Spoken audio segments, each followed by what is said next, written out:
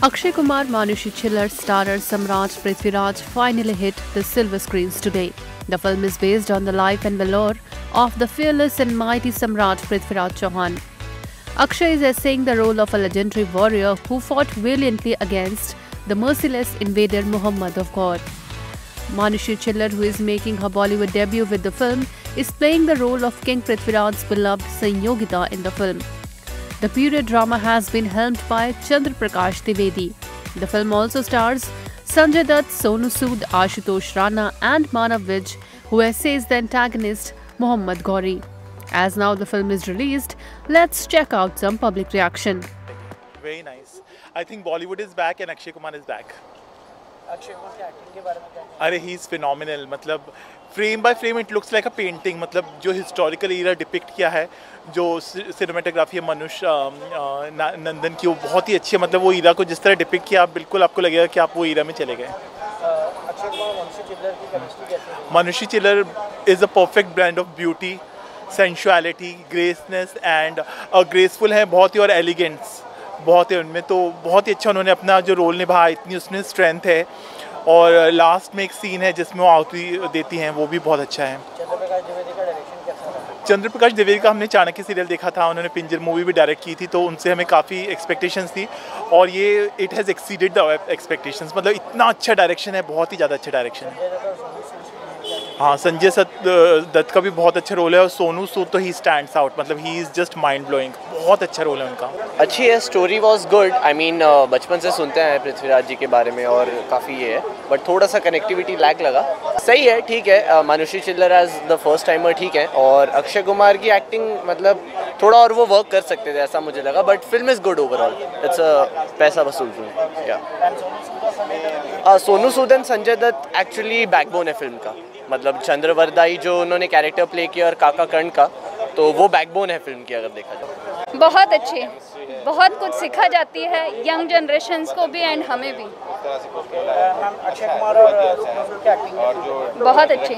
Story भी बहुत अच्छी एंड एक्टिंग भी अच्छी मूवीज़ भी अच्छी। बहुत अच्छी। ऊपर है। कैसी लगी बहुत बहुत बेस्ट है। बहुत है। इतिहास के बारे में सब चीज़ अच्छा लगा और इसमें जितना दर्शाया गया बहुत अच्छी तरह से। अक्षय कुमार का भी अच्छा सीन है। सोनू सूद का तो बहुत ही अच्छा करेक्टर है और संजय दत्त का भी बहुत अच्छा लगा है। ऐसा कुछ नहीं। जितने भी दिखाया गया है बहुत अच्छे तरीके से दिखाया है। पैसा वसूल है। ब्यूटीफुल ब्यूटीफुल क्या क्या अच्छा लगा क्या अच्छा है ब्यूटीफुल बोलते सब कुछ आ गया ना। लगा अरे, क्या डायरेक्शन है यार, ऐसी पिक्चर बहुत टाइम के बाद अच्छी पिक्चर निकलने इतने चार पाँच हफ्तों से जो दिमाग खराब हो रहा था एक्चुअली धाकड़ पृथ्वीराज बोलना चाहिए इसको, धाकड़। वो धाकड़ गलत था, ये धाकड़ सही है। बहुत जोरदार भाई, बहुत दिनों के बाद मज़ा आया। कम से कम एक महीना से खराब पिक्चर देख देख के थक गए थे। बहुत अच्छी मूवी बनाई है। अक्षय कुमार का एक्टिंग कैसी अक्षय कुमार की एक्टिंग में तो कुछ बोलने की बात ही नहीं है। हम लोग को सूर्य गाथा जो मालूम नहीं थी वो जीवंत दिखाई तो उसके लिए बहुत मज़ा आया।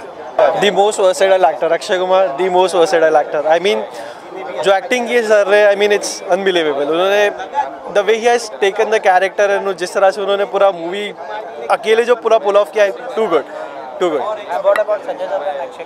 Sanjay Dutt Akshay Kumar and Akshay Kumar का bond was just too good it was be it was shown like they had a काका एंड यू नो नेफ्यू वाला relationship and Sanjay Dutt again he he he was like one of the main characters but I think Akshay Kumar killed it उनकी actor लगी नहीं कि उन्होंने कोई उनकी पहली मूवी थी actually that was the good part about her acting that उनकी लगी नहीं पहली मूवी थी उनकी actually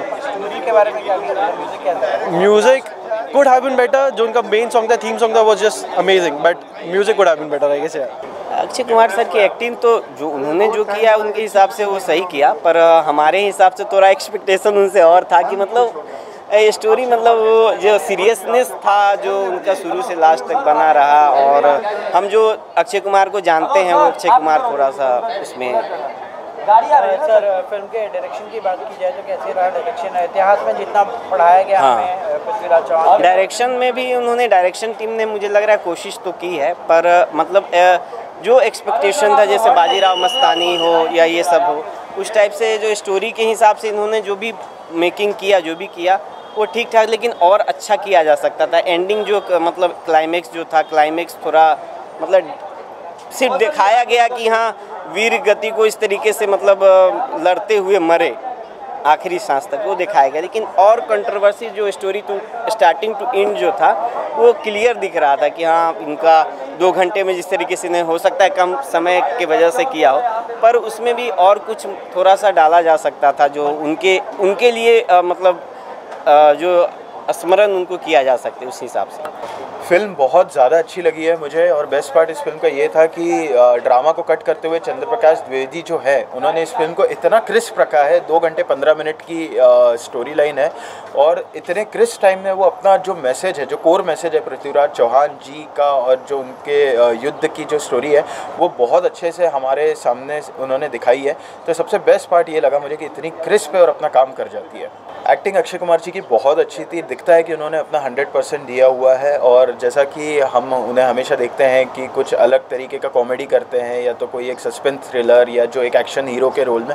एक अच्छा लगा कि उन्होंने एक डिफरेंट टाइप के अवतार में हमने स्क्रीन पर देखा और जो इस टाइप का किरदार था जहाँ पे एक नेशनलिज्म नेचुरल होना चाहिए था, मुझे लगता है अक्षय कुमार एक बहुत ही नेचुरल चॉइस थे इस कैरेक्टर के लिए। संजय दत्त और सोनू की एक्टिंग के बारे में क्या कहेंगे? देखिए, सोनू सूद ने अपना काम बहुत अच्छा किया है और काफ़ी मौक़ों पर, इनफैक्ट मैं सरप्राइज़ था कि उन्होंने जो इमोशंस और एक्सप्रेशंस जो दिए हैं पूरी फ़िल्म में, वो बहुत हार्ड हिटिंग है स्पेशली टुवर्ड्स द क्लाइमैक्स उनकी जो आई लैंग्वेज है, जो बॉडी लैंग्वेज है, जो डायलॉग डिलीवरी बहुत अच्छा है।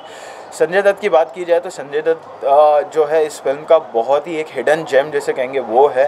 उनका कैरेक्टर इतना अच्छा बनाया गया है कि जब भी वो स्क्रीन पर आते हैं शुरुआत में तो बहुत अच्छा लगता है और हम एन्जॉय करते हैं उनका स्क्रीन प्रेजेंस और हम चाहते हैं कि जो काका काना है, वो हमें और दिखे स्क्रीन पर। मनुष्य चिल्लर और अक्षय कुमार की केमिस्ट्री के बारे में क्या कहेंगे? कितना अच्छे रोल प्ले किया फ़र्स्ट फ़िल्म थी मनुषी चिल्लर और अक्षय कुमार की पेयरिंग बहुत अच्छी लगी। इनफैक्ट काफ़ी नेचुरल लगी अ, कुछ सीन्स में और जो उनकी ट्यूनिंग थी डायलॉग डिलीवरी थी और देखिए दिखता है कि दो एक्टर जब साथ में होते हैं तो एक दूसरे को कैसे सपोर्ट कर रहे हैं स्क्रीन पे वो इन लोगों में बहुत अच्छे से दिखा है तो मुझे लगता है कि इन दोनों की जो पेयरिंग है उसे तो मैं अपनी तरफ़ से काफ़ी हिट मानूँगा। मनुषी चिल्लर की पहली फ़िल्म थी और ईमानदारी से कहूँ तो ऐसा लगा नहीं कि उनकी डेब्यू फ़िल्म थी क्योंकि जिस टाइप से उन्होंने डायलॉग डिलीवरी की है एक्सप्रेशंस दिए हैं और जो ओवरऑल जो उनका प्रेजेंस था स्क्रीन पे वो एक एक्सपीरियंस एक्टर का लग रहा था और दिखता है कि उन्होंने इस फ़िल्म के पहले काफ़ी एफर्ट और काफ़ी प्रैक्टिस की है काफ़ी मेहनत की है अपने इस रोल के लिए। Now let's see how many stars they gave the movie. I'll give 4 out of 5. Film is good three stars out of five five five star ten चार स्टार दूँगा five one five four three star दूँगा